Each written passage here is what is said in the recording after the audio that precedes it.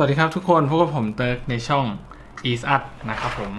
วันนี้ผมมีเรื่องราวการ DIY ที่เคยทำมาก่อนแล้วบ้างนะฮะ เดี๋ยวนี้เรามาซ่อมตัวนาฬิกาที่เป็นลักษณะนี้กันนะครับมมองไม่เห็น เป็นลักษณะเป็นรอยไหม้ที่จอด้านในนะครับ ซึ่งตรงนี้สามารถแก้ได้ด้วยการใช้ อะไรเอ่ย อะไรเอ่ย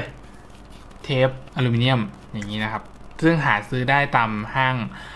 ฮาร์ดแวร์ทั่วไปนะครับผมก็ไปถามเขาว่าเป็นเทปอลูมิเนียมเราต้องการคือเนื่องจากว่าหลายๆ คนเคยเจอปัญหานี้ทั้งรีโมทแอร์ทั้งอะไรที่มันเป็นหน้าจอแล้วก็หน้าจอไหม้อย่างเงี้ยครับผมจะบอกว่ามันสามารถแก้ได้ทั้งหมดเลยนะครับเดี๋ยวคลิปนี้ผมมาสาธิตวิธีแก้กันอะเรามาดูกันเลยนะครับ อย่างนาฬิกาอันนี้เราก็จะการถอดออกมาก่อนนะครับ ถอด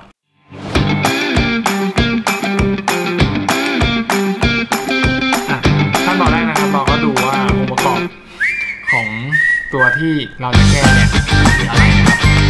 มันคือเทปตัวนี้ครับ เทปตัวด้านหลัง เพื่อนๆเห็นไหมว่าสีมันออกประหลาดๆหน่อยนี่คืออาการของหน้าจอไหม้นะครับผม ทีนี้เนี่ยเราจะต้องถอดตัวนี้ออกมา หรือเปล่านะ อ่าใช่ เดี๋ยวเราก็จะการ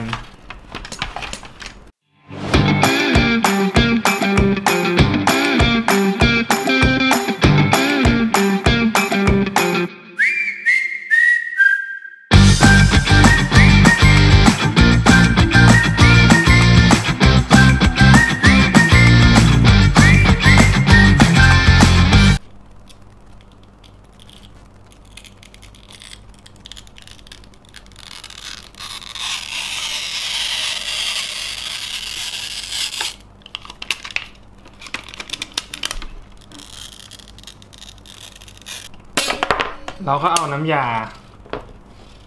WD มาเช็ดหน่อยหนึ่งแล้วก็เอาน้ำมันนะครับ มาฉีดในอันนี้ผมใช้ WD 40 นะครับผมไม่ได้สปอนเซอร์นะฮะแต่ว่ามันต้องใช้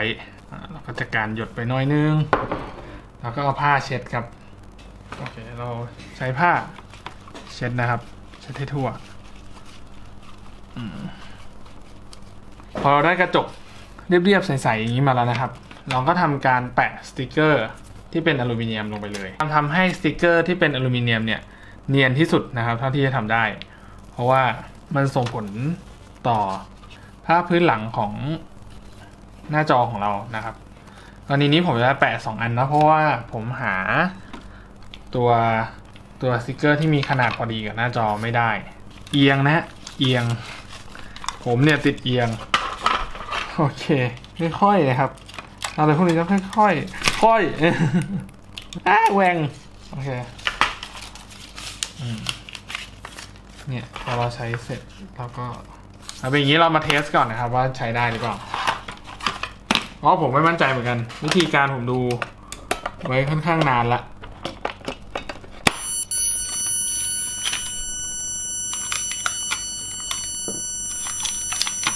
มันไม่ร้องแบบเมื่อกี้อะ นี่นะครับ สามารถที่จะใช้ได้นะครับผม อืม ขึ้นเวลามาละโอเค แต่ว่าสีจางเลยทีเดียวเพราะผมลอกเลเยอร์ผิดนะครับผม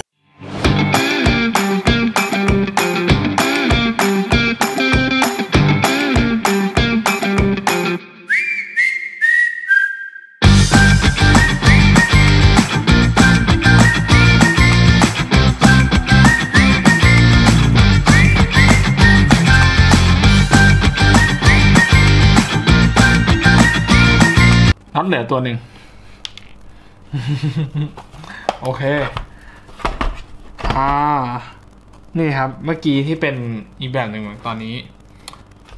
เมื่อกี้ที่มันเป็นดำๆนี้มันก็ไม่เป็นแล้วนะครับ แต่ปัญหาถัดไปของผมก็คือ โอเค เพื่อนๆอาจจะเห็นชัดนะครับ ในกล้อง แต่ว่า แต่ว่าผมไม่เห็นหมายถึง แบบว่ามันเห็นไม่ค่อยชัดเท่าไหร่ โอเค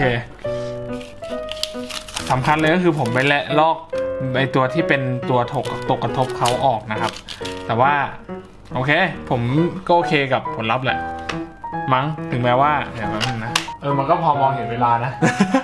เออ แต่ตรงเนี้ยก็หายดำแล้วนะครับ นั่นนั่นคือที่ผมทำเก็บวันนี้